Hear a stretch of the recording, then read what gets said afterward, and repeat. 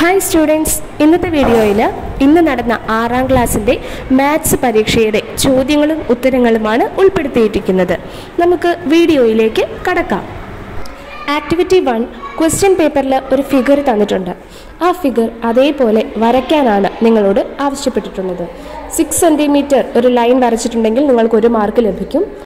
തന്നിരിക്കുന്ന ബാക്കിയുള്ള മെഷേഴ്സ് അതായത് അറുപത് ഡിഗ്രി മുപ്പത് ഡിഗ്രി പ്രൊട്രാക്ടർ ഉപയോഗിച്ച് മെഷർ ചെയ്ത് നിങ്ങൾ ഫിഗർ കംപ്ലീറ്റ് ചെയ്യുകയാണെങ്കിൽ ബാക്കി നാല് മാർക്ക് അങ്ങനെ ആകെ അഞ്ച് മാർക്ക് നിങ്ങൾക്ക് ലഭിക്കുന്നതാണ്. Let's go to activity two അവിടെ ഒരു ഫിഗർ തന്നിട്ടുണ്ട്. What fraction of the circle is shaded കണ്ടുപിടിച്ച് ഉത്തരം എഴുതണം. B what is the measure of angle A O B question C draw a circle of radius three centimetre and shade one by six of it question A answer one by eight എന്നതാണ്. Question B three sixty ഡിഗ്രിയാണ് ഒരു സർക്കിളിന്റെ angle so അതിനെ എട്ട് കൊണ്ട് divide ചെയ്താൽ we will get forty five degree and question C three centimetre radius വെച്ചിട്ട് ഒരു സർക്കിൾ വരച്ച് അതിന്റെ വൺ ബൈ സിക്സ് മാർക്ക് ചെയ്യാനാണ് ചിത്രത്തിലേതുപോലെ നിങ്ങൾക്ക് ചെയ്തിട്ടുണ്ടെങ്കിൽ നിങ്ങൾക്ക് അഞ്ച് മാർക്കും ലഭിക്കുന്നതാണ്. മൂന്ന് മാർക്ക് ആണ് സി ക്വസ്റ്റ്യന് ഉള്ളത്. ആക്ടിവിറ്റി ത്രീ തന്നിരിക്കുന്ന ടേബിൾ നിങ്ങൾ ആദ്യം ഫില്ല് ചെയ്യണം.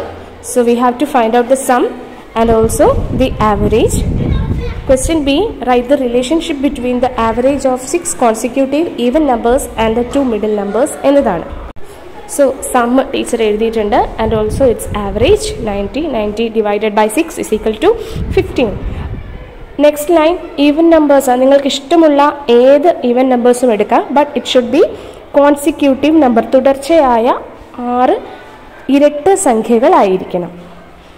എന്നിട്ട് അതിന്റെ സം എഴുതുന്നു. ടീച്ചർ ഒരു ഉദാഹരണമാണ് ഇതിൽ നൽകിയിട്ടുള്ളത്.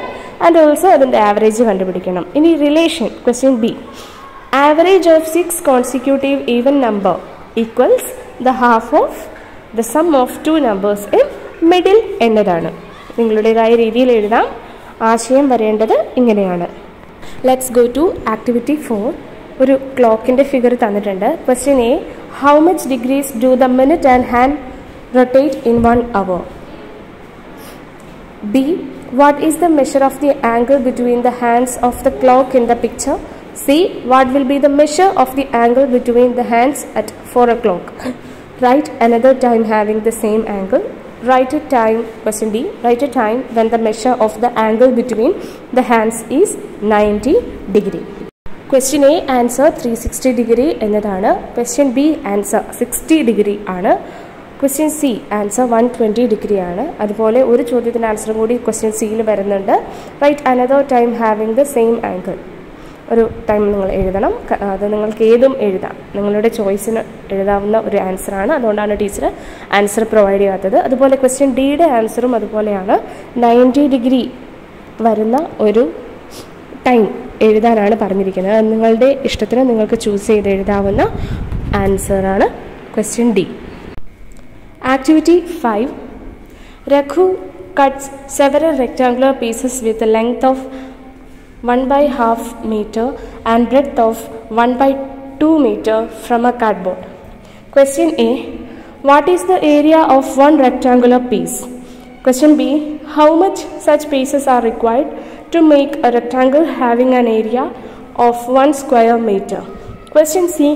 5 pieces are joined to make a rectangle as in the figure. So, one side of this rectangle is 1 by half meter. Find its area and the length of the other side. Question A answer 1 by 4 into 1 by 2 equal to 1 by 8. ഇത് എഴുതുന്നതിന് two marks ആണ് നിങ്ങൾക്ക് ലഭിക്കുക. Question B answer eight ആണ്. അത് എഴുതിയാൽ ഒരു mark ലഭിക്കും.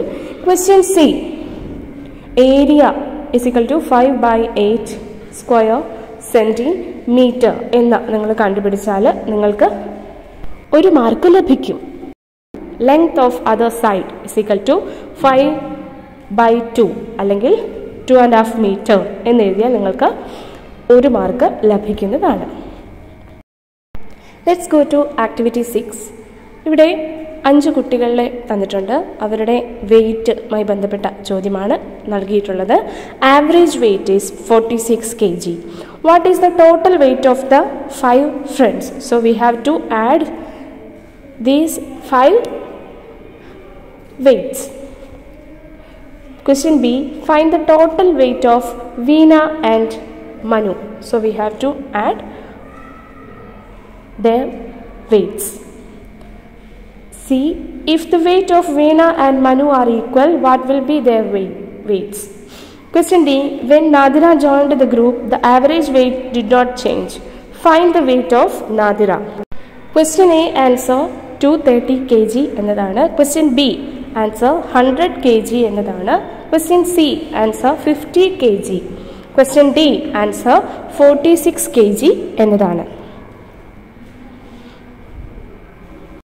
സോ ആക്ടിവിറ്റി സെവൻ നമുക്കൊരു ടേബിൾ തന്നിട്ടുണ്ട്. അതിൽ നിന്നും മൂന്ന് ക്വസ്റ്റ്യൻസ് തന്നിട്ടുണ്ട്. അതിന്റെ answer we have to find and write what is the average quantity of milk got from a cow of the first bread so we have to write Question B What is the average quantity of milk got from a cow of the second breed? Question C Which breed is better on the basis of the average quantity of milk he got?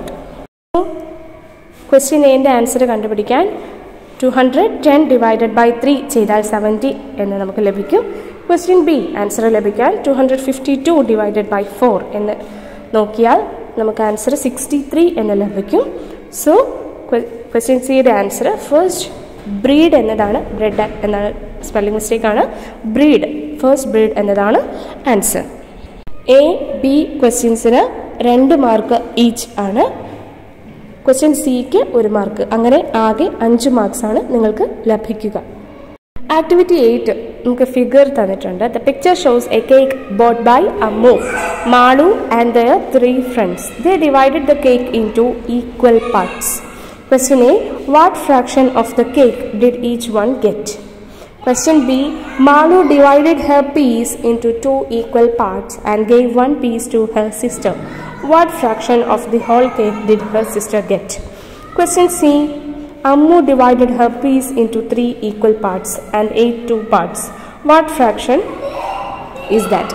Question A Answer 1 by 5 എന്നതാണ് question B One by five into one by two എന്നതാണ് equal to one by ten എന്ന answer നമുക്ക് ലഭിക്കും. Question C one by five into two by three is equal to two by fifteen എന്ന answer നമുക്ക് ലഭിക്കും. ആദ്യത്തെ ചോദ്യത്തിന് ഒരു മാർക്കാണ് ബി ക്വസ്റ്റ്യന് രണ്ട് മാർക്ക് സി ക്വസ്റ്റ്യന് രണ്ട് മാർക്ക് ഇങ്ങനെയാണ് മാർക്ക് അലോട്ടേഷൻ ഉണ്ടാവുക. എല്ലാവരും നന്നായി പരീക്ഷ എഴുതി എന്ന് വിശ്വസിക്കുന്നു. നിങ്ങൾക്ക് കിട്ടിയ മാർക്ക് താഴെ കമന്റ് ബോക്സിൽ ടൈപ്പ് ചെയ്യണേ. Bye bye